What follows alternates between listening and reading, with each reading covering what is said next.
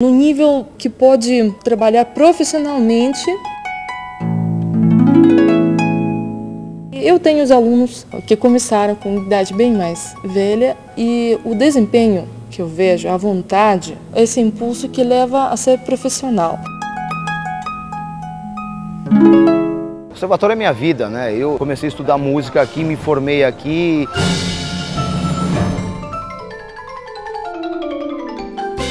Toquei na maioria dos grupos dessa escola, como a Orquestra Sinfônica, como a Orquestra de Sopros até, até hoje que eu toco, como a Big Band. Então é, isso aqui é minha vida.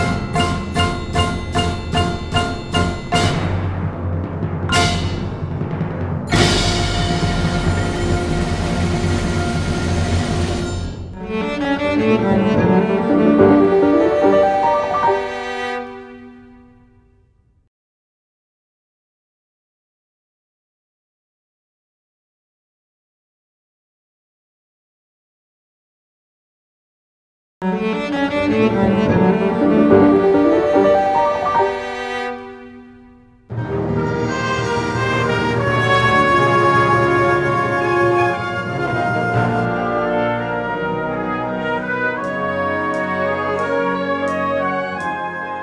conservatório ele é importante para o movimento musical brasileiro.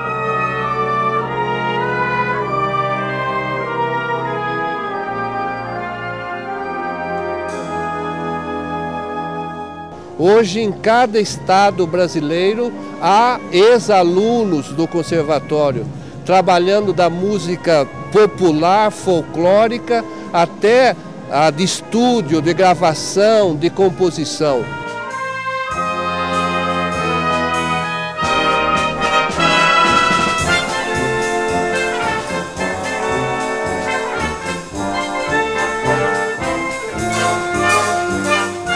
A regência é a condução, a arte de conduzir a orquestra.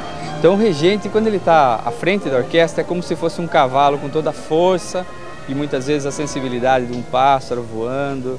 É esse, essa magia que tem de transmitir a imagem da música com o gesto para os músicos e tirar o melhor da música. Ser maestro é ser um líder, ter qualidades de liderança, ter uma boa audição, ter uma boa percepção, ter conhecimento de estilo.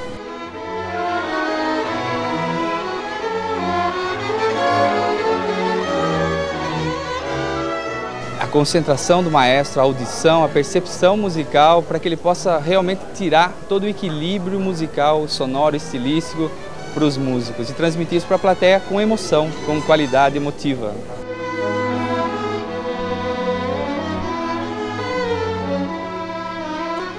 Nós começamos a fazer um trabalho na periferia. E o resultado foi fabuloso. Nós tivemos inúmeros músicos que hoje são professores, são integrantes das principais orquestras do país que vieram dessa classe. Nós conseguimos resgatar isso. O Gerson entrou no conservatório através de um projeto social. Que projeto foi esse, Gerson? Projeto Ayrton Senna. E em parceria com o conservatório existiu um, projeto, um outro projeto do Edson Beltrame, maestro, que levou crianças do projeto Alfa na época para o conservatório. Quantos anos você tinha? Tinha 11 anos. Hoje é, fui chamado para ser professor do conservatório. Né? Aprender muito mais dando aula agora, né? A, a passar os conhecimentos que obtive em todos esses anos, né? Eu me formei em 78, fui o primeiro aluno de violão a se formar aqui no conservatório e a partir daí passei a dar concertos. Fazendo turnês nos Estados Unidos, em Hong Kong, no México, enfim, eu tive, graças ao conservatório, tive essa, essas grandes oportunidades.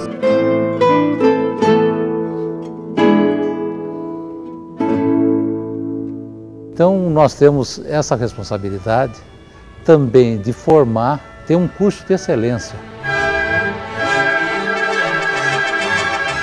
porque existe um mercado de trabalho aí fora, existe uma realidade.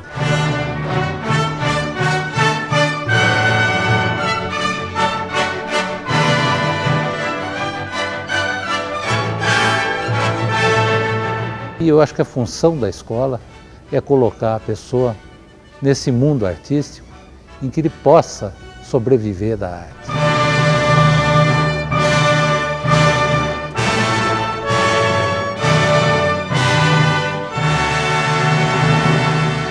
Uma forma de viver de música.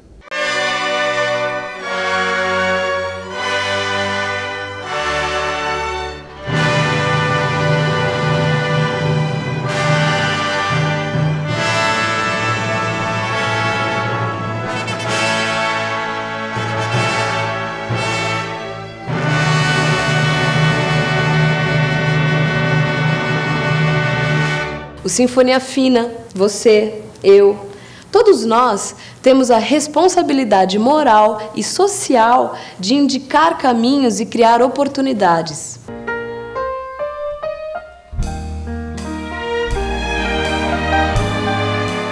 Tornar amplamente conhecido o hábito, o aprendizado e a criação musical.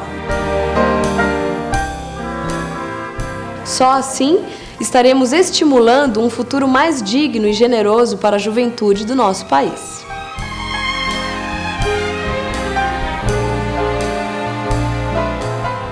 Na próxima série, o Sinfonia Fina muda seus trombones, tímpanos, violinos, cellos, para mostrar uma outra região do estado de São Paulo. Conheceremos a Orquestra Sinfônica da Fundação Cultural Cassiano Ricardo, em São José dos Campos, no Vale do Paraíba. E com ela, outros mestres da música popular e erudita. Até lá!